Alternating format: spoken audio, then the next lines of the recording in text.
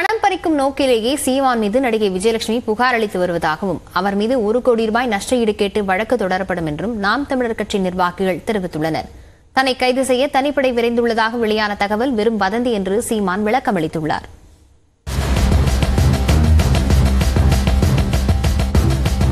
தமிழ் கன்னட மொழி படங்களில் நடித்துள்ள நடிகை விஜயலட்சுமி நாம் தமிழர் கட்சியின் ஒருங்கிணைப்பாளர் சீமான் தன்னை திருமணம் செய்து ஏமாற்றி விட்டதாக கடந்த இரண்டாயிரத்து பதினொன்றாம் ஆண்டு புகார் அளித்திருந்தார்.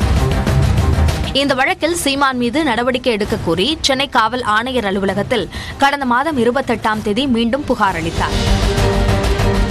அதன் அடிப்படையில் நடிகை விஜயலட்சுமியிடம் கோயம்பேடு துணை ஆணையர் உமையால் விசாரணை நடத்தினார்.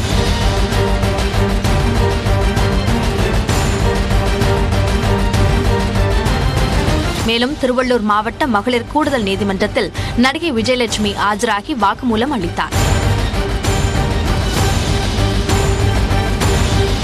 அதனைத் தொடர்ந்து இந்த வழக்கு விசாரணை தீவிரமடைந்த நிலையில் விஜயலட்சுமியின் புகாரில் உண்மையில்லை என்றும் சீமான் மீது அவதூறு பரப்பும் நோக்கத்திலேயே புகார் அளிக்கப்பட்டுள்ளதாகவும் தமிழ்நாட்டின் பல்வேறு காவல் நிலையங்களில் நாம் தமிழர் கட்சியினர் புகார் அளித்து வருகின்றனர். சென்னை காவல் ஆணையர் அலுவலகத்தில் நடிகை விஜயலட்சுமி மீது நாம் தமிழர் கட்சியின் இளைஞர் பாசறை சார்பில் புகார் அளிக்கப்பட்டது. அதன் பிறகு செய்தியாளர்களிடம் பேசிய அக்கட்சி நிர்வாகிகள் சீமானிடமிருந்து பணம் பறிக்க வேண்டும் என்ற நோக்கத்துடன் விஜயலட்சுமி பொய் புகார் கொடுத்துள்ளதாக கூறினர்.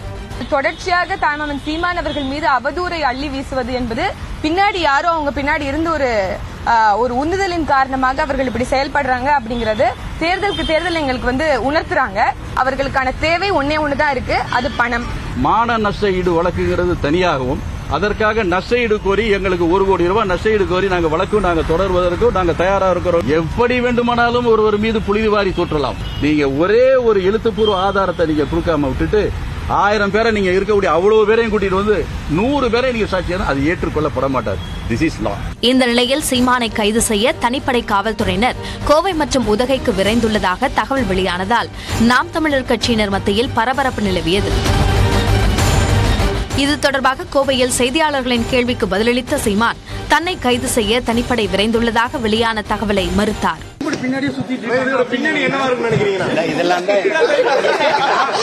சென்னையில இருந்து தனிப்படை வந்திருக்கதாகவும் கோவையிலயோ அல்லது உ- உதகையில வச்சு கைது செய்யறதா சொன்னாங்க. அதுக்கடுத்து கோவையில சொல்றாங்க. உதகை உதகையில காவல்துறைக்கு அங்க பண்ணிருக்கலாம். அப்படியே இது வழக்குனாலும் சென்னையில பிரச்சனை. சென்னைக்கு நான் தான் நாளைக்கு இப்போ மறுநாள் போயிருவல்ல அங்க வச்சு சம்பவம் அலை அழைப்ப அழைப்பானையே எதையோ கொடுத்துருக்கலாம். உங்க பணிகளை தடுப்பதற்கான ஒரு மிரட்டலா வந்து இவங்க பண்றாங்க அப்படின்னு நினைக்கிறீங்களா? உங்களுடைய வளர்ச்சி? சரி என்னை பார்த்தா மிரட்டலுக்கெல்லாம் பயப்படுற ஆள் மாதிரி தெரியுதா? பயந்திருந்தா இவ்வளவு தூரம் பயணிச்சு வந்திருக்க முடியுமா?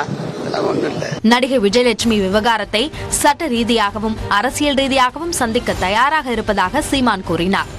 எது வந்தாலும் பாருங்க. சட்ட சட்டப்படினா சட்டப்படி சந்திப்போம். அரசியலானா அரசியல் படி எதிர்கொள்வோம். இவ்வளவுதான். நாடே பரபரப்பா இருக்குல்ல? காரணம் தேர்தல் தானே? தேர்தல் தானே? அப்ப அண்ணனை சுத்தி ஒரு பரபரப்பு இருக்குன்னு தானே?